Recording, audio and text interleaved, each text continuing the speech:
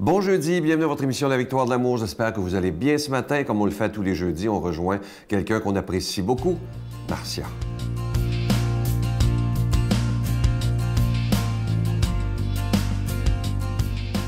Bonjour, bon jeudi tout le monde. Peut-être que vous êtes en semaine de relâche.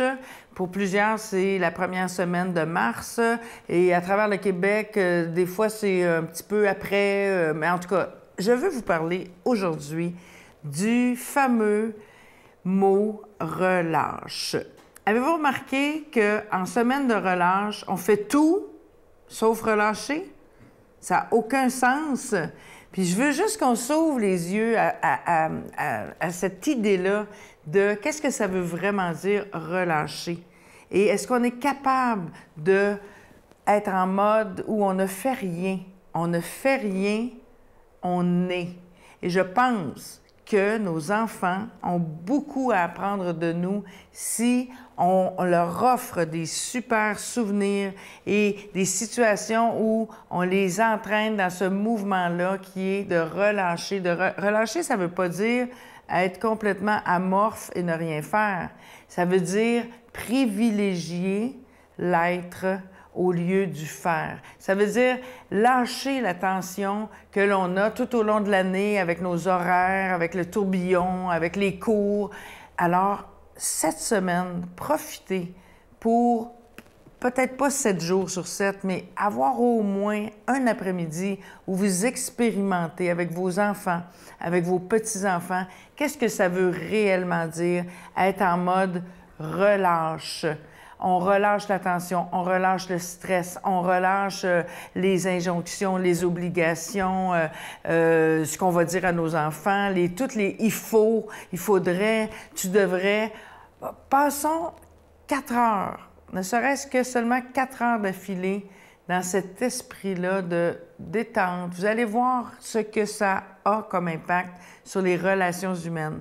Puis vos enfants vont avoir de ces moments-là un souvenir imprégné dans leur âme, dans leur corps, dans leur esprit, et ils vont comprendre le véritable sens de d'être capable de se sortir du tourbillon, d'être capable d'être. Je vous raconte en terminant une petite anecdote. Mes enfants, moi, quand ils étaient... Moi, j'ai deux enfants. J'ai une fille de 32 ans, une fille de 23 ans, donc j'en ai vécu beaucoup de semaines de relâche. On avait une seule activité et c'était, écoutez bien, moi, je demeure à Boucherville, donc le métro Longueuil n'est pas loin. C'était de prendre l'autobus de Boucherville au métro Longueuil en pyjama et de ne pas descendre de l'autobus puis de revenir chez nous. Ça que ça faisait peut-être une activité d'une heure et quart et je vous jure que mes filles, maintenant rendues adultes, en parlent encore.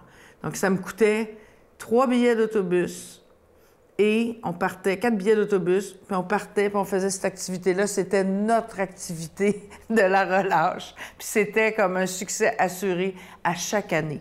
Donc, je veux juste vous dire qu'il y a possibilité de placer à l'horaire de la semaine de relâche des activités comme ça qui ne coûtent presque rien et qui font en sorte que vos enfants vont s'en rappeler toute leur vie et sans stress et en relâchant véritablement.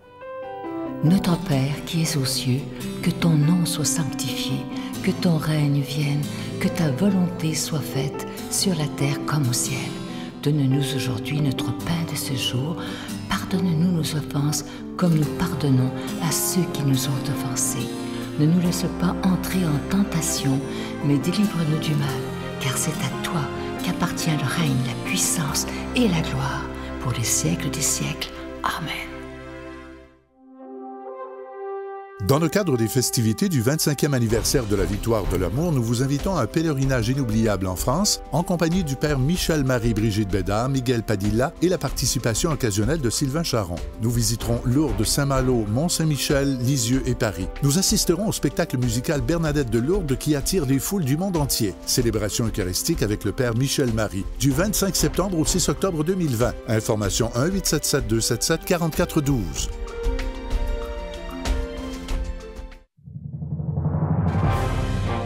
Compagnie du père Michel Marie, Marcia Pilote, Sœur Angèle, Éloi Gillard, Stéphane Roy, Brigitte Bédard et Sylvain Charon. En chanson, Mélissa Bédard, Jean-Pierre Fumanti, Jessica Poulain et Miguel Padilla. Et un mini-spectacle de l'unique Natacha Saint-Pierre et Grégory Turpin. Les 6 et 7 juin 2020 à 13h et 19h à la salle Maurice Aubry de Sherbrooke. À réserver rapidement au 514-523-4433 ou sans frais au 1-888-811-9291. Je prends quelques instants pour solliciter votre aide pour le ministère de la Victoire de l'Amour. Vous savez qu'on est dans le mois du carême, mais comme à chaque année depuis 25 ans, lorsque c'est le carême, il n'y a pas de cadeau du mois. Le plus beau cadeau qu'on peut vous faire, c'est d'être à la télévision tous les jours depuis déjà 25 ans. Tous les jours, imaginez, c'est pas rien. Et moi, je dis toujours que être là depuis 25 ans, ça tient du miracle. Donc, il n'y aura pas de cadeau du mois. Moi, je vous demande de donner par amour pour Jésus en disant Seigneur, j'attends rien en retour. C'est mon don du carême parce que je veux être un protecteur de la foi. Vous savez comme moi que dans notre société présentement, on fait tout pour faire taire Jésus finalement, mais nous, on fait tout pour que sa parole soit annoncée. Et en donnant un don à la victoire de l'amour, je trouve que ça représente bien les mains qu'on voit là avec la chandelle. Vous êtes des protecteurs de la foi afin qu'elle puisse se propager pour des centaines d'années encore, parce qu'il faut que le message de Jésus qui libère soit entendu par tous les êtres humains de la Terre. Je vous donne l'adresse en vous remerciant de tout cœur. La Victoire de l'Amour, casse postale 120, succursale Boucherville à Boucherville, le J4B 5E6, je vous la redonne. La Victoire de l'Amour, casse postale 120, succursale Boucherville à Boucherville, le J4B 5E6. Également par téléphone, par carte de crédit du lundi au vendredi de 8h30 à 16h30 dans le 514-523-4433, 523-4433 ou sans frais le 1 888 811 9291 1-888-811-9291 et aussi sur notre site Internet, le www.lavictoiredelamour.org. Merci de votre don spécial du carême.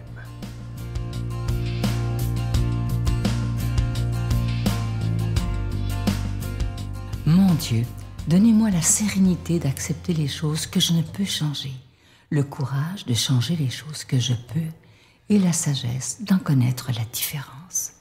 Amen. Aujourd'hui, la parole de Dieu est proclamée par quelqu'un qu'on apprécie beaucoup, Luc Faneuf.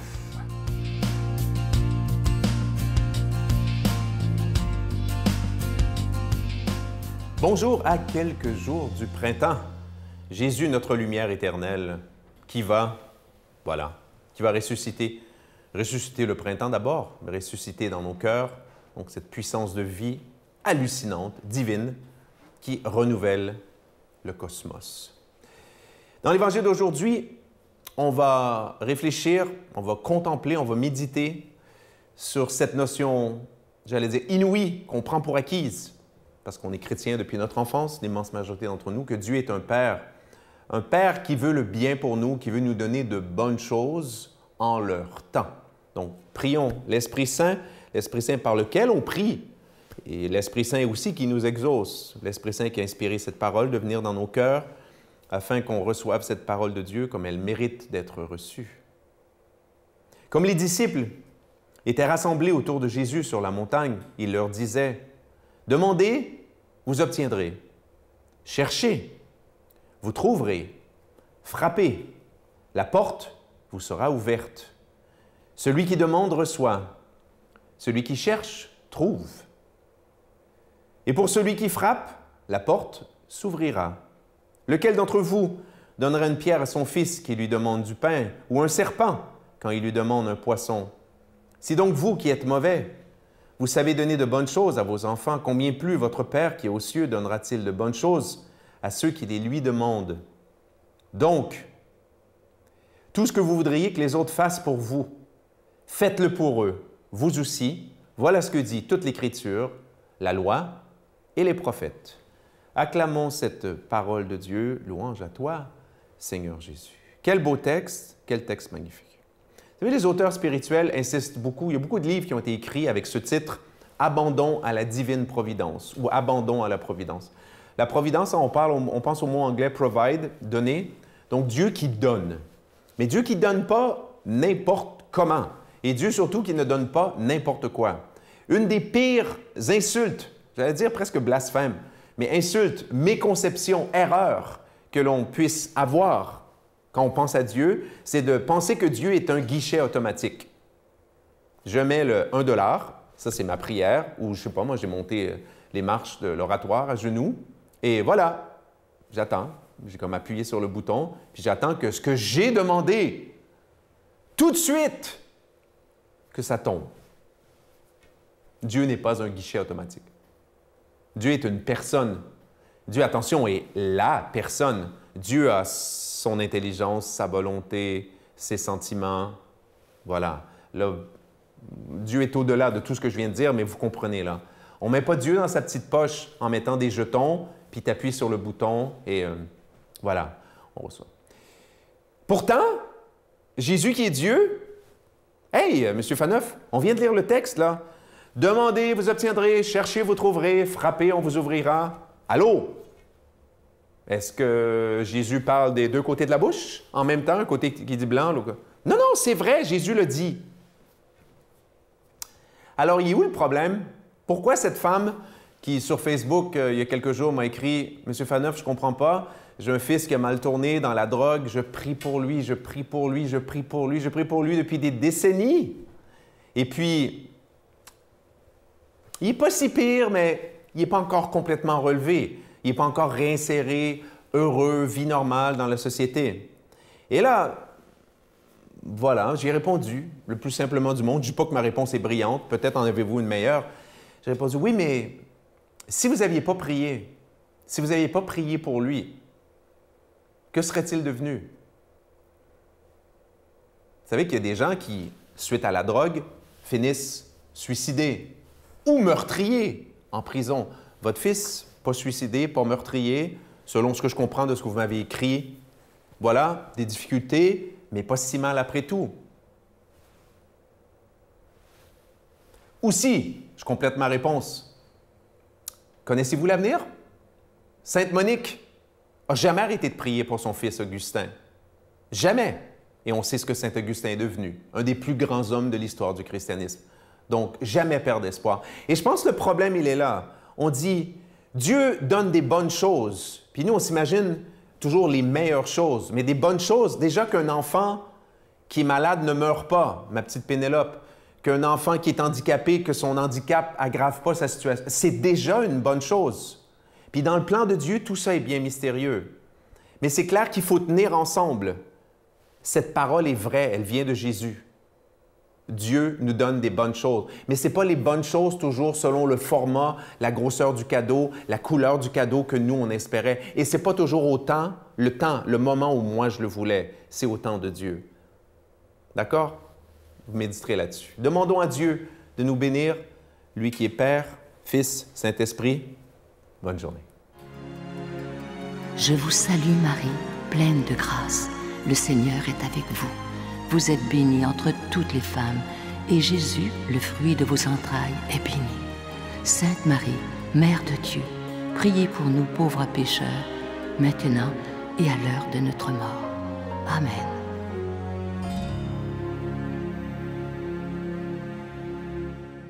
Je vous invite à, à, réserver rapidement pour ceux qui ont le désir de venir avec nous au prochain pèlerinage qui aura lieu en septembre 2020.